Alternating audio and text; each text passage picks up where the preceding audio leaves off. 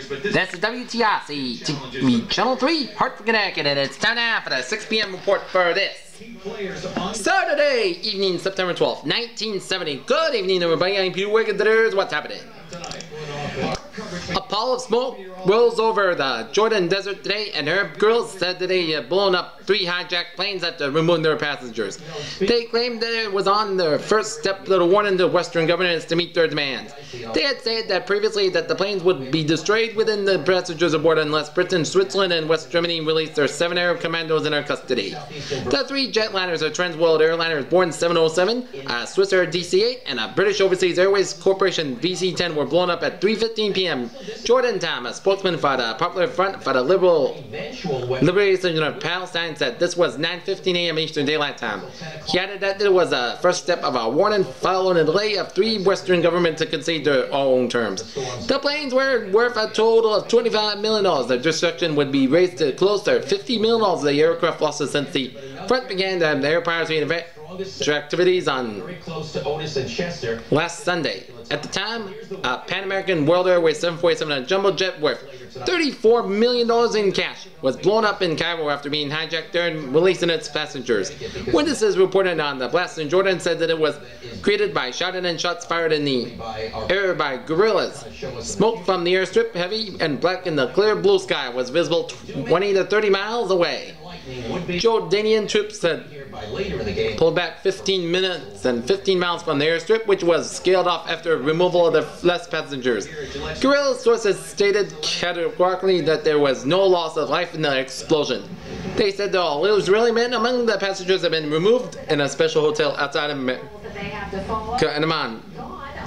About approximately 240 passengers were on the planes of the Friday night. Originally, there had been 400 passengers and crewmen on the three planes from time to time, various parties have been removed since their arrival on the desert strip. The lanes have been guarded constantly of scores of late.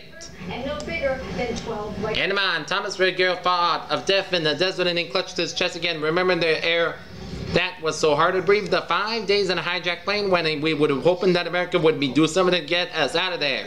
I got a little Ziploc bag and I'm going to always... Ruggiero, 39, a librarian from Knoxville, Tennessee, and his wife Norma were free today, released by guerrilla hijackers because Ruggiero's heart condition made them nervous. He was an almost dead man by. The grills did not want.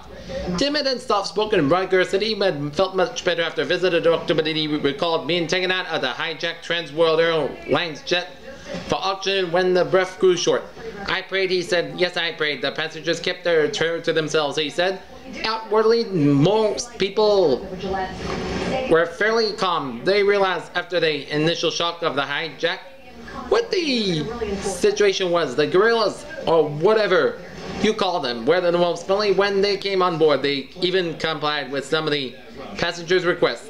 Specifically, Ruggiero said that the guerrillas were asked not to carry their weapons aboard because they are scared of the children. They kept coming in like tourists, you know, he said. Many of them were probably never on an airplane before, and when we asked them to stop coming in, they did stop. Ruggiero felt bad for the Jewish passengers. Most of them were frightened, and understandably, he said.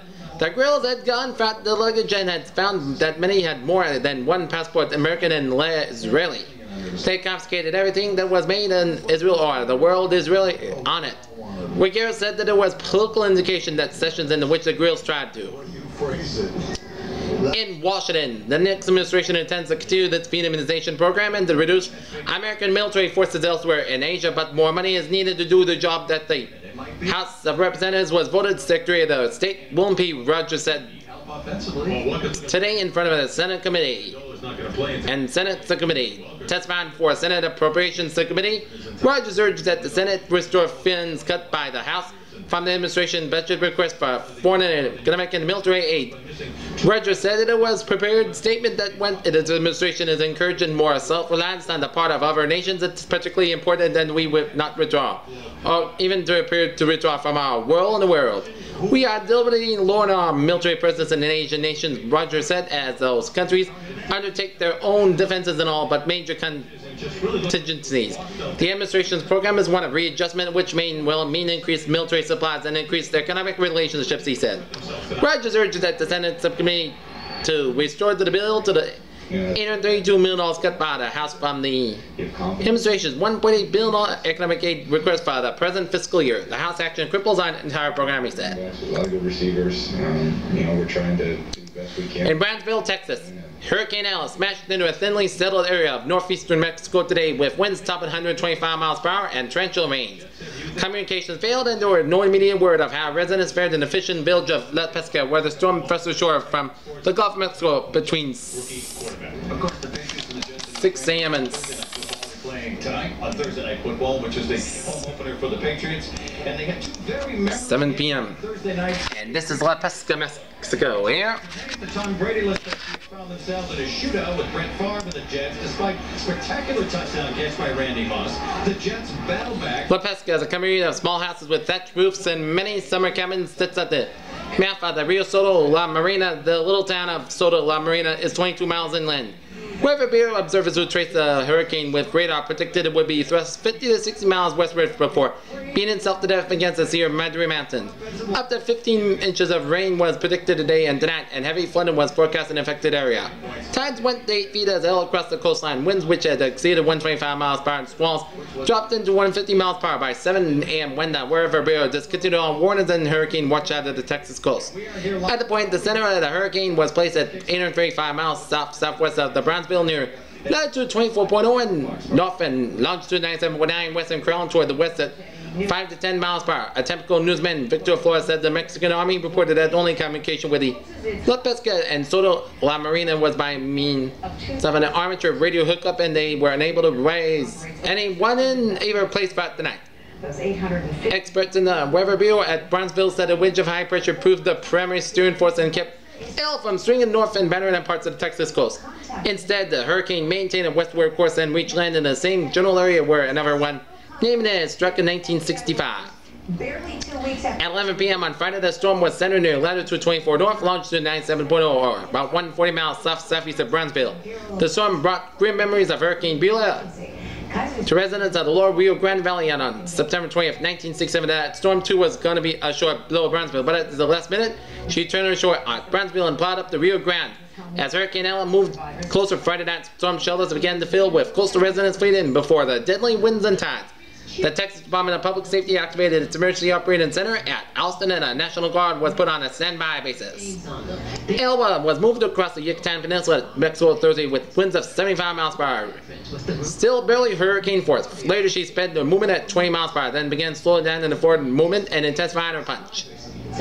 Many refugees moved down to the low-lying Padre Island during the night. Others moved from Port Isabel to shelters at Harlingen and Rio Grande City. Mobile home residents as far as 50 miles inland were wiring to seek safety as the night wore on highways and roads out of the lower valley filled with refugees including many who saw as 1967 tides and felt their force of her winds. Wounded warriors. Boston bombing survivors are now in that lineup of heroes. Mayor Menino applauded the massive undertaking. Bennett's a short-lived whirlwind brought destruction and death in Venice suburbs and on the lagoon, finding out when it picked up a crowded passenger boat like a toothpick, spun in the air and rocketed back into the water where it sank 30 seconds. Firemen received 18 bodies and 30 other persons were rescued. The others are approximately 60 absorbed were missing. The total land were 12 killed and about 200 injured. Police said, I saw the whirlwind whisk by. The gondolier said it picked up a motorboat like a toothpick. He held it up in air and threw it like, back in the water like a cannonball. But the race continues on for all of these survivors. There wasn't a shout. Nobody had time to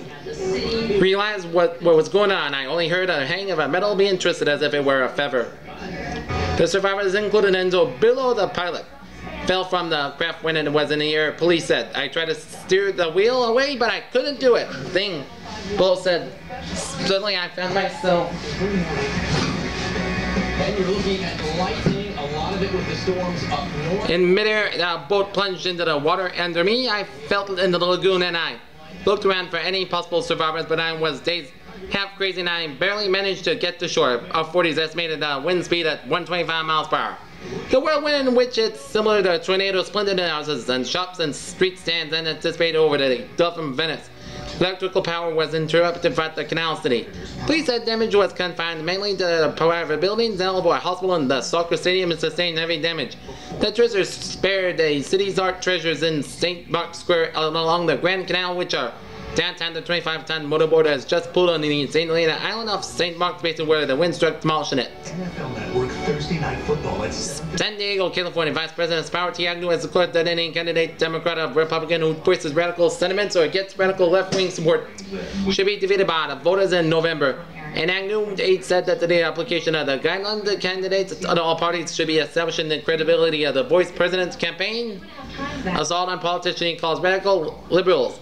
In my view, this fall, any candidate of the party who voices radical sentiments or who courts or enjoys the support of radical elements ought to be voted out of the office by the American people, Agnew said Friday night.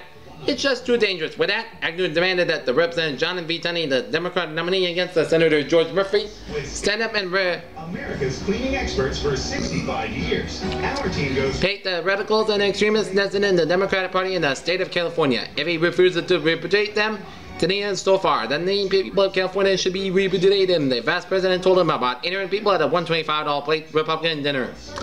Tunney in a statement from the Los Angeles headquarters accused Agnew of wild and abusive language. Every time Spiro Agnew speaks to give the new dimensions to his own extremism, Tunney said.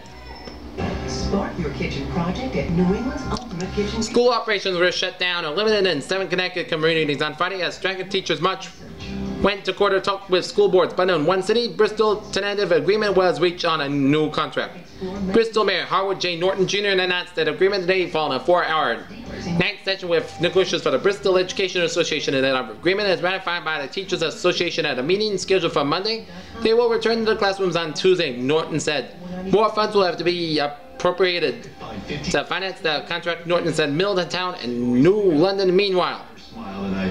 Schools were closed most today, and in New Haven, West Haven, and Somers, school operations were curtailed.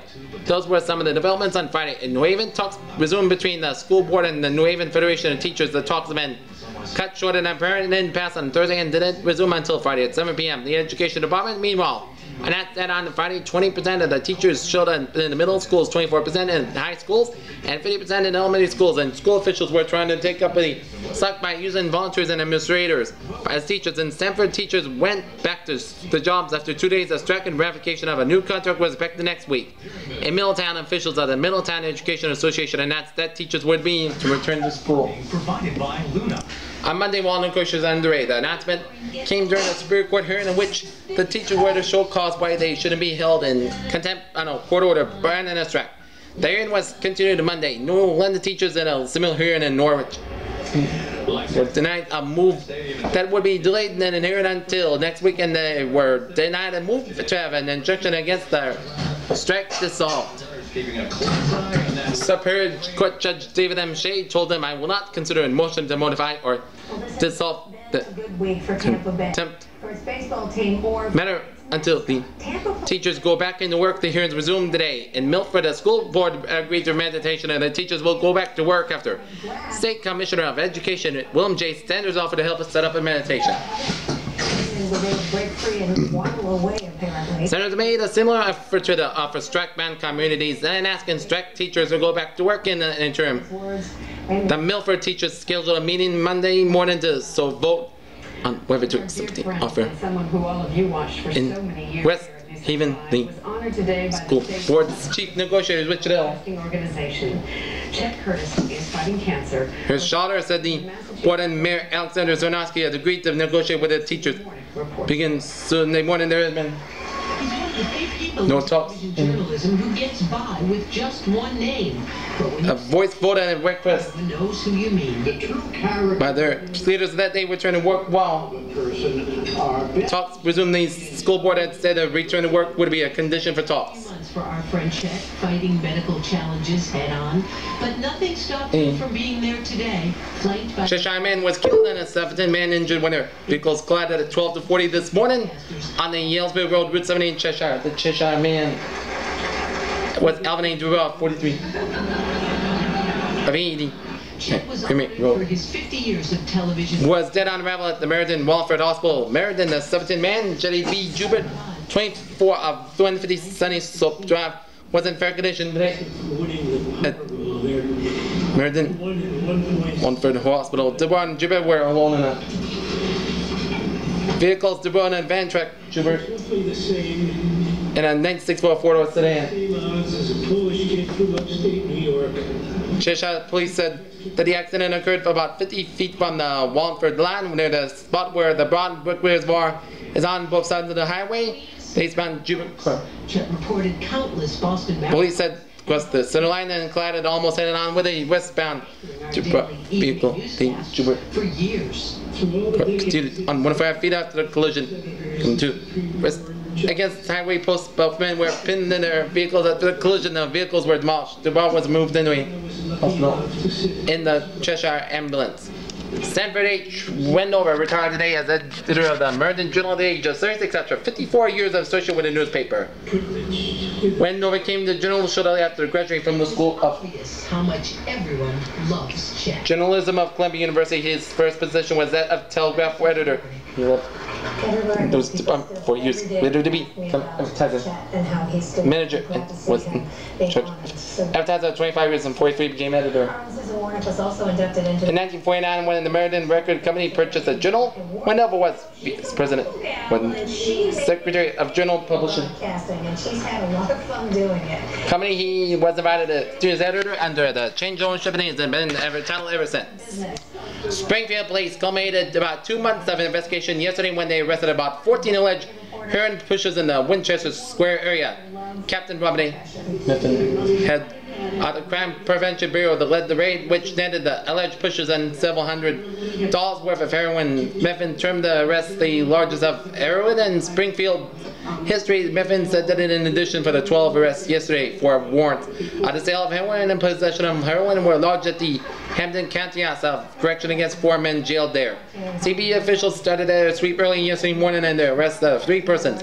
Miffin said the Bureau was undercover intelligence officers and obtained the evidence against those arrested and said all arrested were charged with possession of I heroin don't think the woman knows how to say and no. sale of heroin. Probably does. She was Memphis said he obtained the warrants in Springfield District Court Thursday and that the Bureau has hearing Chet and being served able to more him to serve the press. Press as charming as he always is, and he brought tears to everybody. Okay, now the weather with Ken Gary and the Travelers Weather Station.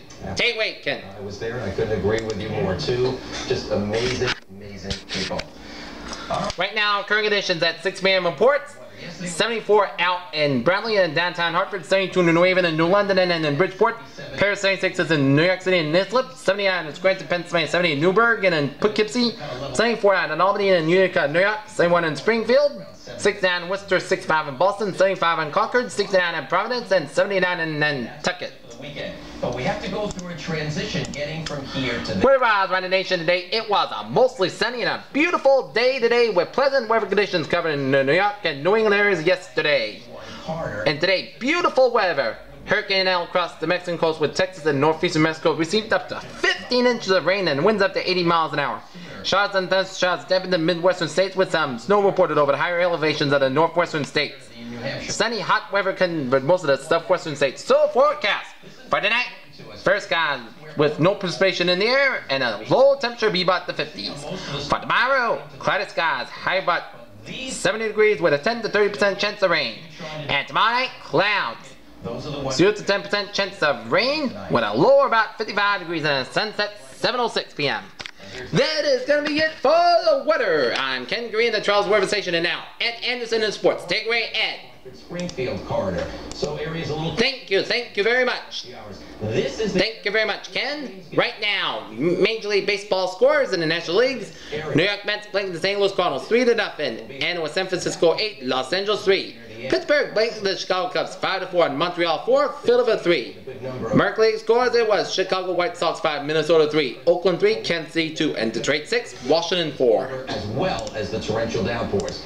If there's a little Saturday's results. College football scores Army Blanket Holy Cross 26 0 Delaware over Westchester 16 7 Ball State 14 Buffalo 7 Navy 48 Colgate 22 Lafayette 27 East Stroudsburg 16 In the South Clemson Blanket Citadel 24 0 Georgia. Tech 23 South Carolina 20 Villanova 21 Maryland 3 North Carolina over Kentucky 20 to 10 Grambling 38 Morgan State 21 VMI 13 Furman nothing and Virginia 7 Virginia Tech nothing was West Virginia 43 William and Mary 7 was Delaware 39 Westchester 22 Afternoon. All right, here's the way it goes. Decades change and the headlines dance up and down. The Mets move from last to first, but Australian tennis players make off with the big money in the American tournaments. This fact was assured today for the second successive year when Ken Rosewall and Tony Roche reached the final of the men's singles and the richest of all the tennis tournaments, the 160,000 all United States Open Championships. Before a record sellout crowd of 14,041, the two Australian contract professionals registered series set victories and set up the 10th All Australian final in the. Cool. And there's your. That's 14 years at the Westside Tennis Club in Forest Hills, Queens. By the middle of next week, maybe Wednesday, Thursday, might be heating up all over again. The 35-year-old Rosewall was played in the semifinals in the National Amateur Championships here at Rishwazate received his first Hi again, everybody. Welcome back to Gillette Stadium. five-set defeat in the Wimbledon final by beating John Newcombe in a superb exhibition. A shot making that mess of fervor warmed the hearts of the sun-drenched spectators at the stadium. The third-seeded Rosewall beat his younger countryman 6-3, 6-4, 6-3. Here's Mike Down. Roche 25, the runner-up to Brad Laver here last year, eliminated America's last hope in the men's singles Cliff Richey of San Angelo, Texas, 6-2, 7-6, 6-1. Belichick in three of The second set was settled by a set after 5 9 point tiebreaker that has the Patriots. Delighted crowds and dog players during the scramble thing this year. Both players have won all the previous set and F sets. Both Roche served the first, second, and fifth and six points. Richey is a third, fourth, and last three. Yeah, been beat six times by himself. They changed offensive coordinators, so I think there's some. some Akron, Ohio. Jack Nicklaus won of the game's millionaires scored a 6-6 day in the World Series of Golf that gave him a three-stroke edge toward the first prize at a $50,000 over this two-day 36-hole special for the test for the winners of the golf's four major titles has been held since 1962. No one has been previously been led after the first round at the Firestone Country Club by more than one stroke. Second to Nicklaus, where the eligibility was based on the victory in the British Open, was Dave Stockton, the Professional Golfers Association title holder, with a 69. Although Nicklaus been participated five times previously, this marks Stockton's debut, and he said he was somewhat nervous, started that he just really didn't know what to expect. Since I got here. And In Doncaster, England, he was at least 30 lengths back, maybe 50, but it doesn't matter since there was no official charts in English racing, and it didn't continue to be a good matter that Nijinsky wasn't that far back either. Nijinsky is a great horse, and only when it's one says that he is the greatest in the argument, but one of the greatest. Yes, look what he did today. He went in 1 3 1,620. a little bit short-handed. I don't think they mind. Eight St. Leger six undefeated in ten starts. He came out undefeated in 11 starts, becoming the first horse to sweep the English Triple Crown. Quarterback made his debut last Sunday, and they win against Tampa Bay again. Gainesville, Georgia. Vic Elford won the incredible Triple J, won a grim duel with a once invisible cars of the team. McLaren Saturday to take the pole position in today's Canadian American Wait for prime time. Challenge Road Sutherland tomorrow. It was the first time in more than two years that a Canadian Series that the orange cars that Team McLaren had not held the pole position. They had won the last 19 races of the series. Alfred flown from England and this week to handle the box like Chappell took the pole was less than an hour remaining to qualify, turning a lap of 117.3 miles an hour, nearly 2 miles per hour, better than Dennis Holman could manage in the fastest McLaren MSD. 115 and a half, qualifying in the third spot was Peter Gethin and the other team McLaren card, 114.1 miles per hour. 33 cars are expected to be on line for tomorrow's start, but the race was obviously between the McLaren M8Ds and the Lone Chapel, the latest innovation at Texan Jim Hall. In Hartford, the Hartford Knights with the Atlantic Coast now. Even at 1 to 1, I'm preparing to face the Orlando for Saturday night at Dillon Stadium. Big Knights by runner Mel Meeks of Springfield and Pastor Benny Russell steered the Knights to a 27 0 victory over the Jersey Jays in Jersey City Friday night before. 5,000 in Roosevelt Stadium. Meeks carried 22 times for the 100 yards and had touchdowns that runs of 31 and 3 yards. The game also marked the return of the last year's starter Tom Morse had 65 yards and 19 carries. Morse was late signing. The Reds carried full honors in a shutout and former U.S. Master star Steve Rogers was the star with three picks. Russell had it off game and opened the loss and Indianapolis completed 10 of the 15 passes for 176 yards. Wide receiver Bob Storr for a 21-yard touchdown pass in the first period. Tony Kansky, uh, All-American safety at Syracuse, now playing at tight end for the Knights, grabbed six passes for 82 yards. And in San Diego, Larry Siegfried for the seven seasons uh, backcourt standout for the Boston Celtics Friday, signed with the San Diego Rockets of the National Basketball Association was picked by the expansion Portland Trail Blazers in the draft of the expansion teams. Les March and was traded down to San Diego. That is going to be it for the 6 o'clock weekend report on Saturday, September 12th, 1970. I'm Peter J. Williams with Ed Anderson and Ken Curry in the Travis World Station. I hope you have a good evening, and coming next will be the CBS Weekend News with Roger Mudd. I'll be back for the news at 11. Have a good evening.